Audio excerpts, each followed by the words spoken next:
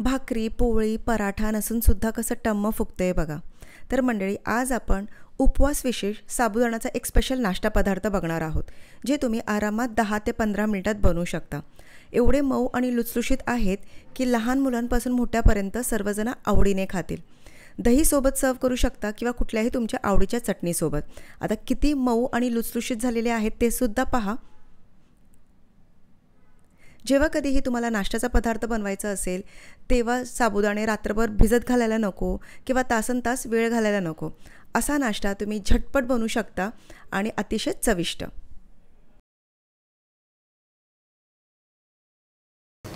नमस्कार मंडळी मी भारती म्हात्रे. पुन्हा एकदा तुमचा सिम्पली स्वादिष्टमध्ये खूप खूप मनापासून स्वागत करत आहे. तर आज आपण उपवास विशेष साबुदाणापासून एक नाश्ता पदार्थ बनवणार आहोत. अतिशय चविष्ट लागतो आणि मुख्य म्हणजे झटपट बनवला जातो. आजच्या व्हिडिओमध्ये मी तुम्हाला भरपूर सारे टिप्स आणि ट्रिक्ससुद्धा सांगणार आहे. म्हणून व्हिडिओ शेवटपर्यंत पहा. तर जास्ती वेळ न घालवता मंडळी सुरू करूया आपण आजची ही रेसिपी रेसिपी सुरुवात करायच्या आधी जर तुम्ही चॅनलला सबस्क्राईब केलं नसेल तर सबस्क्राईब करा आणि साईडला छोटीसे बेलायकन आहे ते सुद्धा हिट करा. त्याच्याने तुम्हाला माझे सर्व रेसिपीचे अपडेट्स मिळत राहतील. आता इथे आपण साहित्य पाहूया. तर इथे एक कप मी साबुदाणा घेतलेला आहे. साबुदाण्याची साईज बघा मोठा साबुदाणा घ्यायचा आहे. बारीक नाही.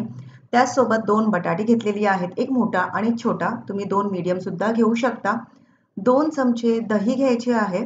दोन हिरव्या मिरच्या इथे मी बारीक चिरून घेतलेले आहेत. बारीक चिरलेली कोथिंबीर आणि उपवासाचं मीठ. हवा असेल तुम्ही झिरपूड घेऊ शकता जर तुम्हाला उपवासाला चालत असेल तर. भिजवलेले साबुदाणे आपल्याला हवेत म्हणून हे साबुदाणे चार ते पाच तास भिजत ठेवा. मी ऑलरेडी भिजत ठेवले होते. जेव्हा कधीही तुम्ही साबुदाणा भिजत घालता तेव्हा पाव इंच वरपर्यंत पाणी ठेवा. पाच ते सहा तास भिजत ठेवा आणि त्यानंतर बघा असा एकदम पिठूळ झाला पाहिजे साबुदाणा इतपत भिजायला पाहिजे. आता हे साबुदाणे आपलं मिक्सरमध्ये ग्राइंड करून घेऊया. ग्राइंड करताना याच्यामध्ये घाला दोन चमचे दही आणि त्याच वाटीचं माप घेऊन पाणी याच्यामध्ये घाला म्हणजे फाईन पेस्ट तयार होईल.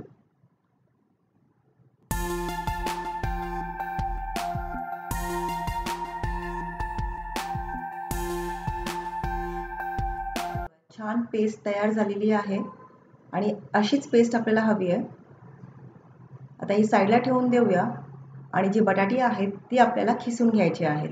तर एक मोठ्या वाडग्यामध्ये ही दोन्ही बटाटी खिसून घ्या.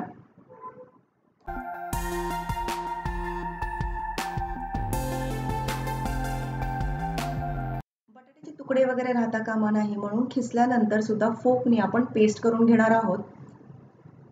म्हणजे जेव्हा आपण बॅटर तव्यावर पसरून घेणार कुठेही त्याचे तुकडे वगैरे राहता कामा नाही. तर या प्रकारे फोकनी पेस्ट करून घेतल्यानंतर याच्यामध्ये मिरची बारीक चिरलेली कोथिंबीर घाला. आणि आता घालूया आपण तयार केलेली साबुदाणा पेस्ट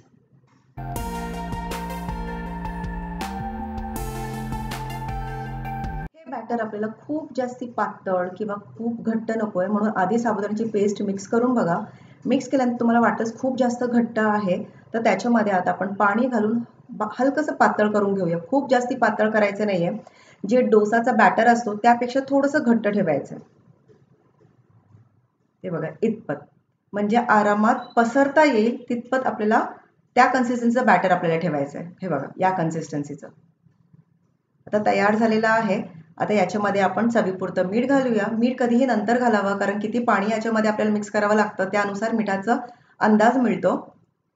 जसं मी सांगितलं उपवासाला चालत असेल तर लाल मिरची फ्लेक्स तुम्ही याच्यामध्ये किंवा जिरपूड वगैरे घालू शकता. आता तवा गरम करा थोडंसं तूप चोळून घ्या. आणि आता याच्यावर बॅटर सोडायचं आहे बघा. बॅटर पसरता येईल इतपतच घट्ट आपण ठेवलेलं आहे. थोडे जाडेच ठेवायचे आहे. साबुदाणा शिजल्यानंतर पारदर्शक होतं म्हणजे ट्रान्सपरंट होऊन जातं. म्हणून आता सुरुवातीला तुम्हाला खूप घट्ट दिसते जाडा दिसतो नंतर ते खूप फ्लॅट होणार आहे. हे बघा हलकंसं फुगतोय. थोडा वेळ तसंच ठेवायचं आहे न हात लावता. आणि थोड्या वेळानंतर जेव्हा तुम्हाला दिसेल काठ सुटलेले आहेत तेव्हा फ्लिप करा. आणि खालची बाजू सुद्धा तुपावर आपण रोस्ट करून घेऊया. बघा हलकासा रंग बदललेला आहे. आणि असा सोनेरी रंग आपल्याला हवा आहे एक दोन वेळा तुम्ही अधूनमधून फ्लिप करू शकता. हे बनवताना नॉनस्टिकचा वापर करा. त्याच्याने बिलकुलही चिटकणार नाही. किंवा लोखंडी तवाचा वापर करा. फ्लिप केल्यानंतर वरून पुन्हा थोडंसं तूप सोडा. आणि बघा छान फुलतायत बघा. म्हणजे आतून कच्चं वगैरे बिलकुल राहिलेलं नाहीये. आता दोन तीन वेळा याच प्रकारे तुम्ही फ्लिप करा. सुरेख रंग येऊ द्या. आणि थोड्या वेळानंतर असे फुललेले दिसले की काढून घ्या. म्हणजे हे झालेले आहेत. आणि याच प्रकारे बाकीचे सुद्धा तुम्ही भाजून घ्या.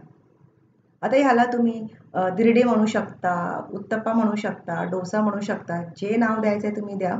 पण एक मस्त असा नाश्ता पदार्थ आहे उपवास स्पेशल हे तुम्ही कुठल्याही उपवासाच्या चटणीसोबत खाऊ शकता किंवा दहीसोबत खाल्लं तरीही चालेल.